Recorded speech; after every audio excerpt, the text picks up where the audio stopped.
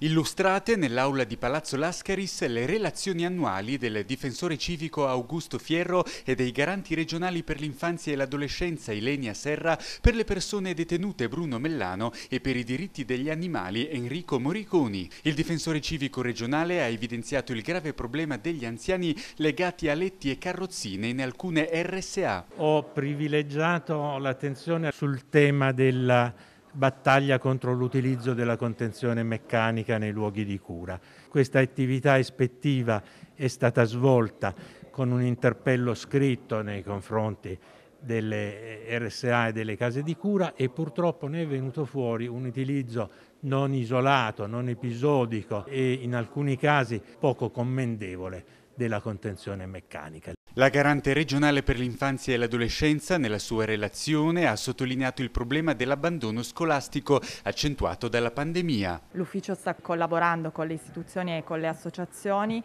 per monitorare e approfondire le ripercussioni che ci sono state sulla dispersione scolastica. Sarebbe necessario migliorare ed incrementare il sostegno eh, ai genitori e alle famiglie e un'altra eh, grandissima tematica è certamente la situazione delle comunità per i minori che vanno monitorate non soltanto negli aspetti strutturali ed organizzativi, ma anche nella qualità degli interventi educativi e psicologici che vengono forniti. Nella seconda parte della seduta d'aula è intervenuto il garante regionale per le persone private della libertà. La dinamica della pandemia ha travolto tutte le istituzioni chiuse, come le carceri, come le REMS, dove accanto alla reclusione, alla perdita, alla limitazione della libertà, si è innescata la dinamica dell'emergenza sanitaria.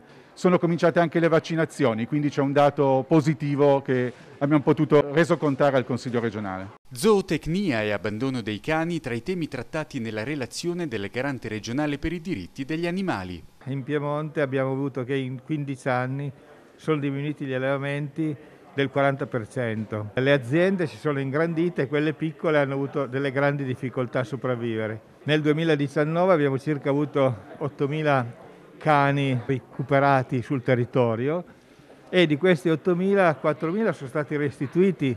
Abbiamo ancora una larga parte di popolazione canina che non è stata identificata.